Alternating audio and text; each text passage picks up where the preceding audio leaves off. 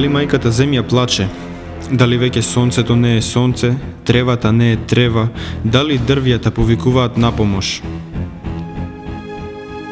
Македонија од секогаш била позната како земјоделска земја, земја од која се раѓале најдобрите овошја и најдобрите зеленчуци. Благопријатните климатски услови, зачинето со топлото сонце, не влијаат само на човековото расположение, туку и на земјоделските производи. Но, Што прави човекот за да произведе еколошки здрав производ? Зошто во последните години се повеќе читаме страшни написи? Зошто слушаме илјада пораки како да го конзумираме овошјето и зеленчукот? Зошто мајката земја моли за спас?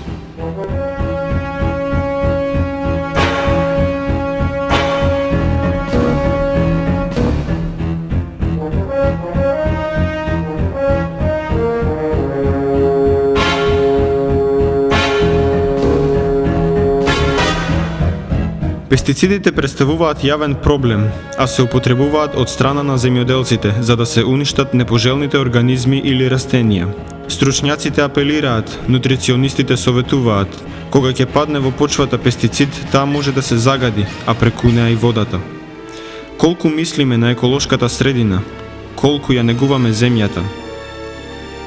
Кога се работи за примена на пестициди во почвата, Тука имаме, тоа се вика, земјишни инсектициди и нематоциди, кои се воглавно отрови од прва група и многу опасни со голема каренца од 40 до 45 дена. За нивната примена необходна е ентомолошка анализа, што значи утврдување на присуството на штетните инсекти, доколку се над прагот на штетност, се применува тој инсектицид земишен за сузбивање на тие штетни инсекти. Или нематоцидите, кои се применуваат врз основа на нематолошка анализа која утврдува дали и кое присуство го има на нематоди. За земишните инсектициди, мораме да кажеме, и нематоцидите, тоа се најопасните отрови и за тоа треба да се преминува, преминуваат исклучиво по стручни нападства.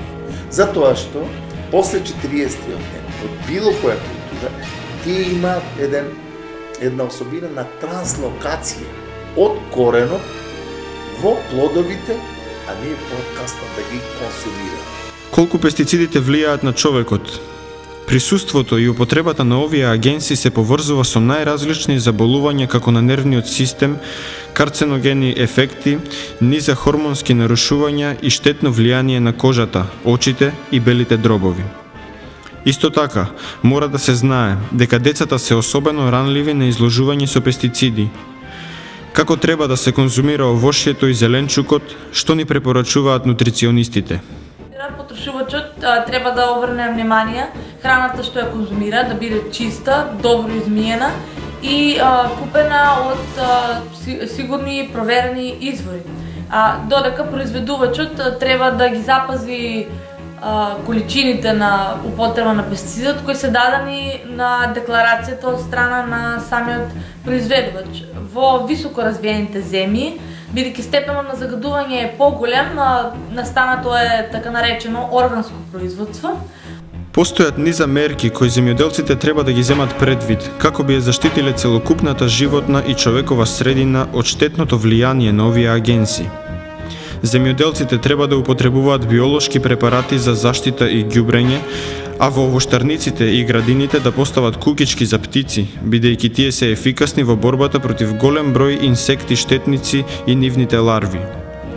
Меѓу останатите мерки се користење феромонски стапици за штетни инсекти, користење домашни биолошки ѓубрива и инсектициди како раствор од коприва, механички методи за отстранување штетници, како и премин кон органско производство. Како пред тоа земјоделците успевале да ги ваѓаат реколтите? Како нашите баби и дедоци успевале да, да ги ваѓаат реколтите без употреба на тие а, скапи и тешки хемикали? А, знаеле? Сега се враќаме повторно на тоа. Ако тогаш можеле со а, сулфур или а, со употребували дури и пепел пепелта во а, добиена од печките за грејење, во неја има многу калиум. Така да со, на тие начини успевале да да, да произведуваат. Ја пак би се вратил на органското да ви да дообјаснам. Во органското, например не ви е забранета употребата на, на, на, на хемиски средства. Меѓутоа, а, има список, листа, кои се дозволени, Например, бакарот е дозволен, се разбира во одредена количина, сулфурот е дозволен, повторно во одредена количина, единица количина на, на единица површина. Потоа, а, Дозволено јарското ѓубре, меѓутоа нормално јарското ѓубре кога го потребувате мора да добиете дозвола од а, инспекторот. А, и органските инспектори во секој момент органското тело што ве инспектира мора да знае што што сте употребиле и колку сте употребиле, затоа што тоа органско тело е вашиот гарант кога вие го продавате вашиот производ во странство зад вас стојат они да потврдат дека на вистина она што е декларирано во таа европска регулатива дека вие токму за, за до таа декларација сте се држеле. Постојат бројни причини зошто е подобро да се избегнуваат супермаркетите и да се купува органски одгледана храна.